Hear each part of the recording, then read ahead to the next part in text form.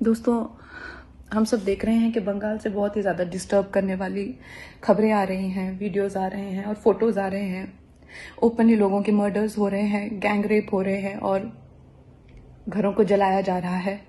और कोई भी लिबरल कुछ नहीं कह रहा है। ना BBC World Telegraph Time Guardian कोई इंटरनेशनल पेपर और कोई प्लेटफॉर्म उसे कवर नहीं कर रहा।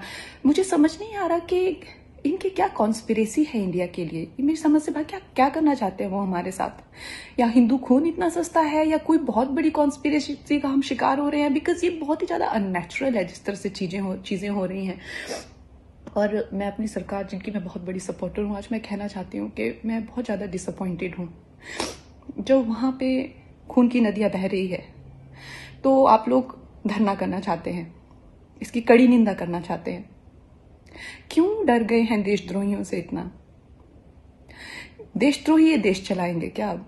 मुझे पता है वो बहुत शोर करते हैं इंटरनेशनल दबाव। मुझे पता है हम लोग बहुत बुरी तरह से फंसे हुए हैं। लेकिन अब, इस वक्त पे,